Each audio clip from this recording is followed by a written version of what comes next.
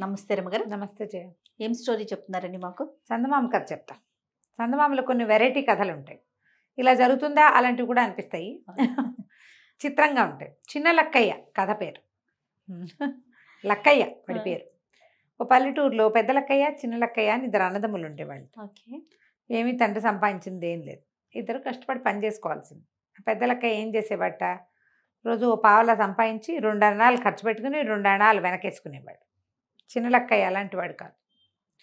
ఇది సంపాదించి పని చేసుకుని సంపాదించుకొని కూలి డబ్బులు రెండు అణాలు శుభ్రంగా తినేసి అక్కడి నుంచి చాకలి వాళ్ళకి డబ్బులు ఇచ్చి మంచి బట్టలు వేసుకుని షోకిల్లాగా తిరిగేవాడు. పెద్ద లక్కయ్యకి పెళ్ళై సంసారం ఉంది చిన్నవాడికి పెళ్ళి సంబంధాలు ఎవరన్నా వస్తే ఏమనేవాట? "ఆ, ఏమిటో ఎవరిని పడితే వాళ్ళని చేసుకోవడం? చేసుకుంటే నవాబు గారి కూతురుని చేసుకోవాలి. అనేవాడు. నిర్లక్ష్యంగా తాపీగా అనేవాడు. ఈ పెళ్ళిళ్ళు చేసుకోవడం? పిచ్చి పిచ్చి పెళ్ళిళ్ళు. ఎవరో ఒక అమ్మాయిని చేసుకోవడం కాదు. నవాబు గారి కూతుర్ని. ఓకే. కమింగ్ టైంలో నేను కింగ్ అవుతాను. అలాంటి భావాలు ఉండేవి వాడికి అదేం జ్యోతిష్యం చూసి జాతకం చూసి కాదు. వాడి పద్ధతి అది. ఆయన ఊహ. కులాసాగా ఉండేవాడు. ఏ రోజు దా రోజు తినేసేవాడు. ఓసారి కొంచెం జోరుగా వానలు వచ్చినాయి. మరి ఓ చెట్టు కింద ఉండిపోయాడు. డబ్బులు లేవు. నిలవేం లేదు. నిలబడినవాడు ఏం చేస్తాడు? ఇంటికి వెళ్ళి పడుకుంటాడు హాయిగా. వాన ఆగితే ఏదైనా కొట్టుకెళ్తేనే ఈ పూటకి తిండి వీడికి. చెట్టు కింద నుంచున్నాడు. నుంచుంటే బాగా జోరుగా వాన పడుతోంది. ఊరికే తోచి తోచక మనం ఏం చేస్తాము? వానాకాలము కొంచెం కాలు గోళ్ళతోటే మట్టిని ఇట్లా లేవదీసి అలా చేస్తారు. ఆ చెట్టు కింద పెద్ద ఐదారు రోజుల నుంచి వాన పడుతోంది. బాగా నానిపోయింది.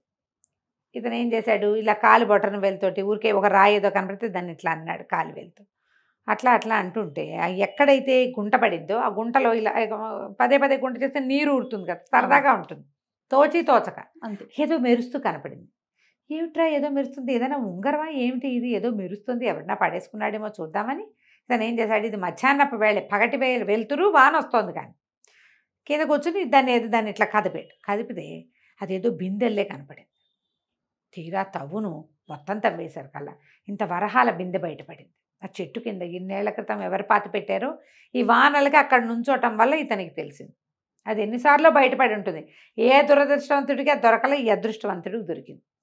అది కనపడేసరికల్లా వీడు ఏం చేశాడు? గబగబా పై చొక్కా ఓడి తీసి దాన్ని శుభ్రంగా వాన నీళ్ళకి పెట్టి తడిపేసి బురదంతా తుడిచేశాడు. తుడిచేసేసి అది చాకలి వాళ్ళు అందులోంచి రెండు వరహాలు తీసి చాకలి వాళ్ళ ఇంటికి పరిగెత్తుకుంటూ వెళ్ళాడు. వీడు ఫ్రెండ్ కదా?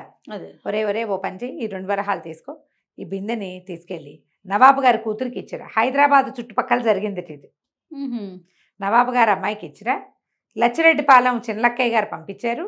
అమ్మాయికి రా యువరాణికి రవికల గుడ్డల కోసం జాకెట్ పీసులు కొనుక్కోవటం కోసం ఇది పంపించారని చెప్పి ఈ బింది ఇచ్చేసి రారా అన్నాడు. అప్పట్లో ఇలాంటి వ్యవహారాలు చాకళ్ళే చేసేవాళ్ళు.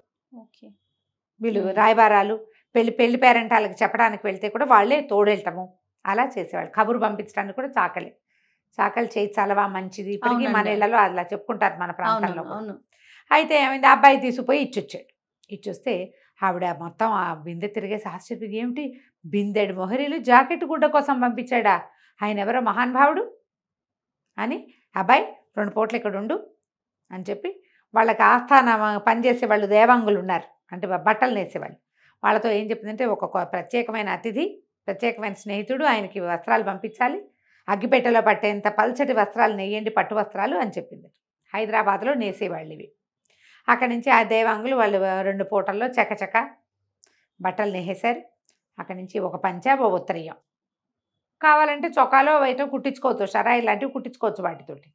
ఆ రెండు వస్త్రాలని అగ్గిపెట్టెలో పెట్టించారు ఆవిడ ఏం చేసింది వచ్చిన అబ్బాయికి కుర్రాడు వచ్చాడు కదా బా- ఇవి తీసుకుని అతనికి రెండు పూట్ల భోజనం పెట్టించి వాడికి ఏదో చిన్న బహుమతి కూడా ఇచ్చి ఈ అగ్గిపెట్టని మీ చిన్నలక్కయ్య గారికి ఇవ్వబోయ్ అని ఇచ్చింది వాడు పట్టుకొచ్చి పూరాగా తెచ్చేసాడు పాపం. తెచ్చేసి లక్కయ్య లక్కయ్య ఇదిగో నీకు ఆ యువరాణి ఇది ఇవ్వమంది నవాబు గారు అమ్మాయి అని అగ్గిపెట్టి చేతిలో పెట్టాడు.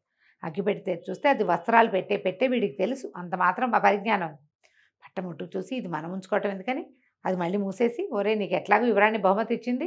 తర్వాత నీ సంగతి చూస్తాలే అంటే రెండు వరహాలు ఇచ్చున్నాడు. రెండు వరహాలు అంటే సంవత్సర గ్రాసం అదేం తక్కువ కాదు. ఇది పట్టుకొని వెళ్ళి నవాబు గారికి ఇచ్చిరా. లచ్చిరెడ్డిపాలెం చిన్న లక్కయ్య గారు పంపించారని చెప్పు. సరే విడిపోయి నవాబు గారి దగ్గరికి వెళ్ళి. నవాబు గారికి బహుమతి తెచ్చాను అని కానుక తెచ్చానని బయట చెప్పాడు. వీళ్ళు ఏం చేశారు? ఈ బయట ఉంచునే వాళ్ళు ఉంటారు కదా వాళ్ళు ఎవరో కానుకలు తెచ్చారంటే వీడిని లోపలికి పంపించారు. ఆ వస్త్రం కూడా తీసి ఆయన ఆశ్చర్యపోయాడు. ఇది ఖరీదైన వస్త్రం. వాళ్ళ వాళ్ళు నేస్తారని ఆయనకు తెలుసు. కానీ ఇది మనదే మనమ్మాయే నేయించిందని ఆయన అనుకోలే.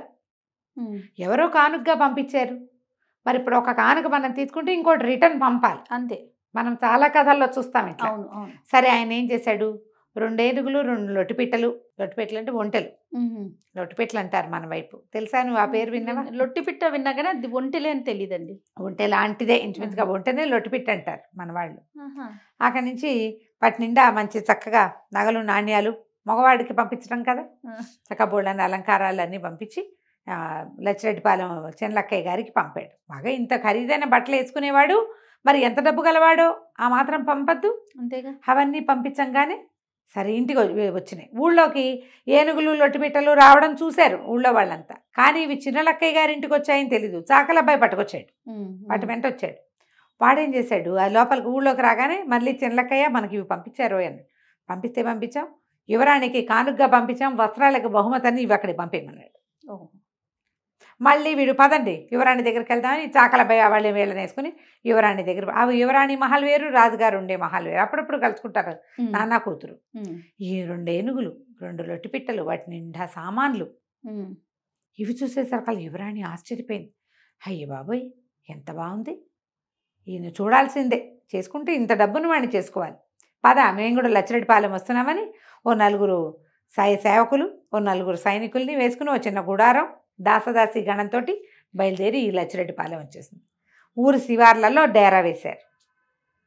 యువరాణి వచ్చిందని తెలియగానే భయం వేసేసింది ఈ లక్కయ్య రెడ్డి అక్కయ్యకి. ముందేదో చేశాడు సరదాగా వాళ్ళనే ఫేస్ చేయాలంటే భయం కాదు. అడవిలోకి పరిగెత్తుకుంటూ పారిపోయాడు. అడవిలోకి వెళ్ళిపోయేసరికల్లా బాగా అడవి లోపలికి వెళ్ళేసరికి అక్కడ ఒక పురాతనమైన కొలను ఉంది. ఆ కొలంలో సంవత్సరానికి ఒకసారి దేవకన్యలు వస్తారట స్నానానికి. వీటి టైం బాగుండి అప్పుడు వచ్చారు కిరీటాలన్నీ గట్టు మీద పెట్టున్నాయి. ఆడపిల్లలు స్నానం చేస్తున్నారు ఆ కొలంలో దిగి. వీడేం చేశాడు? ఆ గట్టు మీద ఉన్న మొత్తం కిరీటాలన్నీ చెత్తపుచ్చుకుని చెట్టెక్కి కూర్చున్నాడు. వాళ్ళ స్నానాలు అయిపోయాక కిరీటాలేవి అని చూసుకున్నారు కనపడలే. ఎక్క ఎవర్రా ఎవర్రా అని చూస్తే వీడు కనపడ్డాడు. ఓరో మనిషి ఎత్తుకుపోయావు మా కిరీటాలు మాకు ఇచ్చేయంటే ఊరికే ఇవ్వను మీరు నాకు సహాయం చేయాలి. ఈ బంగారపు వాళ్ళ దగ్గర ఏవో బిందెలు లాంటివి ఉన్నాయి. బిందెలతోటి పన్నీర్ పట్టుకెళ్ళి ఈ నగర ఊరు శివార్లలో లచ్చిరెడ్డిపాలెం నగర శివార్లలో ఊరు శివార్లలో నవాబు గారి కూతురుంది. నేను పంపించానని చెప్పి కాళ్ళు కడుక్కోవడానికి నీళ్ళు పట్టుకెళ్ళండి ఓకే. అని చెప్పాడు. దాంతో నలుగురు దేవకన్యలు ఇంతంత బంగారు బిందెలు పుచ్చుకుని పన్నీర్ పుచ్చుకుని వెళ్ళారు. నవాబు గారి కూతురికి మీ కాళ్ళు కడగటానికి వచ్చాము. లచ్చిరెడ్డిపాలెం చిన్నలక్కయ్య గారు పంపించారు అని కాళ్ళు కడిగారు. కాళ్ళ మీద పోసారు పోసారు ఆ పన్నీరు వాళ్ళ దగ్గర ఉన్న వాటిలలో పోసి నలుగురు వచ్చి కిరీటాలు పుచ్చుకొని వాళ్ళ దారిని పడిపోయారు. పోగానే అయ్యో బాబోయ్ దేవకన్యలు వచ్చి కాళ్ళు కడుగుతున్నారు మనకి. ఎంత గొప్పవాడు. నేను ఇతన్నే పెళ్ళి చేసుకుంటా. ముందు మా నాన్నకి చెప్తా. పదండి మనం వెళ్ళిపోదా అని మొత్తం గుంపునంతా తీసుకుని వెనక్కి వెళ్ళిపోయింది. అర్ధరాత్రి రాత్రిపూట వెళ్ళిపోయింది. తెల్లారేసరికల్లా ఊళ్ళో అంతా తెలిసింది రా యువరాణి వచ్చి ఇక్కడ చేరింది అని చెప్పి. వీళ్ళు చూద్దాం చూద్దాం అనుకున్నారు. ఊళ్ళో వాళ్ళంతా చూద్దాం అనుకుంటారు. రాత్రిపూట ఎట్టా వెళ్తారు? నవాబు గారి కూతురు చూడడానికి పొద్దున్నే కానుకలు పుచ్చుకెళ్దాం అనుకుంటే తెల్లారేసరికి గుడారం మొత్తం వెళ్ళిపోయింది ఖాళీ వెళ్ళిపోయేసరికి అదేం వెళ్ళిపోయేసరికల్లా నీకోసం వచ్చిందిట. మాకు చూపించకుండానే పంపించేశాము నవాబు కూతుర్ని బలేటోడివై నువ్వు అన్నారు. అనేసరికల్లా ఇతను అన్నాడు దాందే ఉంది. నన్ను ఇవ్వ నవాబు కూతుర్ని చూడాలంటే అదో పెద్ద పనే. ముత్యాల పాలకి ఏర్పాటు చేసి నన్ను తీసుకెళ్ళండి. నవాబు కూతుర్ని చూపించడం ఏంటి? నవాబు ఇంట్లో విందే పెట్టిస్తాం మీ అందరికీ అన్నాడు. ఊళ్ళో జనమంతా తయారైపోయారు చకచక అక్కడ ఇక్కడ ఏవో మేనాలు అవి ఉంటే వాటిల్లో మంచి ముత్యాల మేనా ఒకటి తయారు చేసుకుని ఈ అబ్బాయిని అందులో ఎక్కించుకుని వాడు మంచి బట్టలు చాకల దగ్గర నుంచి తెచ్చుకుంటాడు. ఈ చాకలి ఈ తిప్పట్లలో వాడికి బోల్డని బహుమానాలు వచ్చినాయి. బట్టలు ఇవ్వనని వాడు అండు చక్కటి బట్టలు కట్టుకుని అందులో కూర్చున్నాడు. మేనా మోసుకుంటూ ఈ లచ్చిరెడ్డిపాలెం నుంచి జనం అంతా పోయి యువరాణి దగ్గరికి ఆ మా అమ్మాయి మహాల్ దగ్గరికి వెళ్ళారట. నవాబు గారి కూతురు మహాల్ దగ్గరికి వెళ్ళేసరికల్లా ఆవిడ పైన నిలబడి చూస్తుంది. ఎవరొచ్చారు అని కేకలు పెట్టింది. ఎవరే ఎవరే వస్తున్నారు కిందంటే ఓహో ఓహో అంటున్నారు కదా లచ్చిరెడ్డిపాలెం చిన్నలక్కయ్య గారు వస్తున్నారు ఓహో అని వచ్చారు. ఈయనైనా చిన్నలక్కయ్య అని గబగబా ఆవిడ దిగేసి వచ్చి ఆ మేనాలో ఉన్న ఆయన్ని చేయించుకుని తీసుకువెళ్ళిపోయింది పైకి. మేనాలో బరువు లేదని జనం అంతా చూసుకునేసరికల్లా ఏముంది? పై నుంచుని ఉన్నాడు ఈయన. తీరా చూస్తే అందరూ పైకి చూసేసరికల్లా నవాబు గారి కూతురు పక్కనే ఈ చిన్న లక్కయ్య కనపడ్డాడు. అందరు ఆశ్చర్యపోయారు ఊరిని వీడు అన్నది అన్నట్టు చేశాడే? ఎటా అనేవాడు మొదట? అదే, అదే. ఆ వా- వీడి ఊళ్ళో వాళ్ళంతా గేలు చేసేవాళ్ళు. నవాబు గారు అల్లుడు వస్తున్నాడని చివరికి వాడు నిజంగానే నవాబు అల్లుడు అయిపోయాడు.